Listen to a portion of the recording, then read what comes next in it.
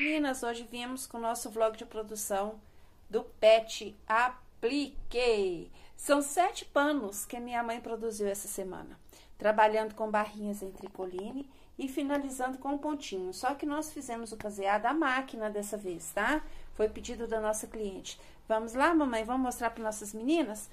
Fizemos muitas galinhas. Olha a galinha esperolada com flores. Olha aqui a gracinha, olha o detalhe do pontinho. Ela pediu para mim colocar o pontinho 19 da Singer 43. Aquela máquina que a Rita Vilaça nos ensina a trabalhar com ela. Aquela maquinazinha de disco. Olha que pontinho lindo que ela faz.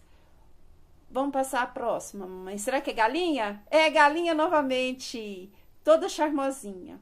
Vamos com outra a galinha quase que dormindo. Ah, gente, nos olhinhos dela nós colocamos botões para ficar bem original, tá?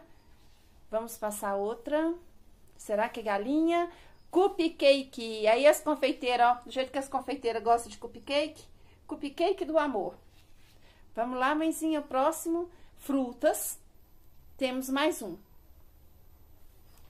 E o gato, o gatinho, esse que deixou bem explícito o pontinho. Olha que maravilha do pontinho, meninas. Não tá focando bem para vocês não, mas ele é feito de bolinha.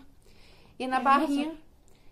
Ah, é mesmo. A, a, folha tá mais legível, né, mamãe? Uhum. Olha o pontinho bolinha. Olha que gracinha que ficou. Que criatividade. Colocamos também botõezinhos nos olhinhos do, do, do gatinho.